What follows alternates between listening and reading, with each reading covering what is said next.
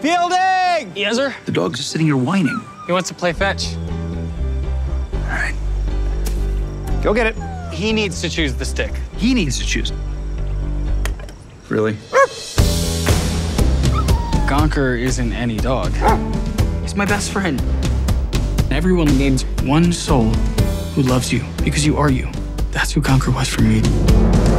And now he's lost. Gonker! I promise you, we will find that dog You promise? How can you say that? because I believe it. He's only got two weeks. He's no medication, nothing.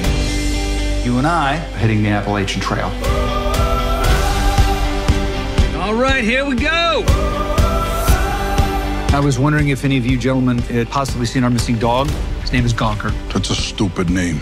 I gave my dog a stupid name once Macaroni. Like to write an article about your search.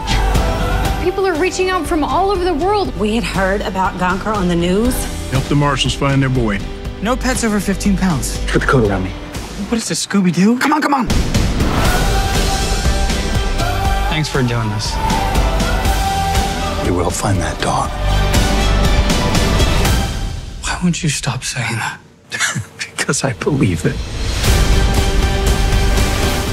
It's like you two are on an like epic journey together. Like a quest.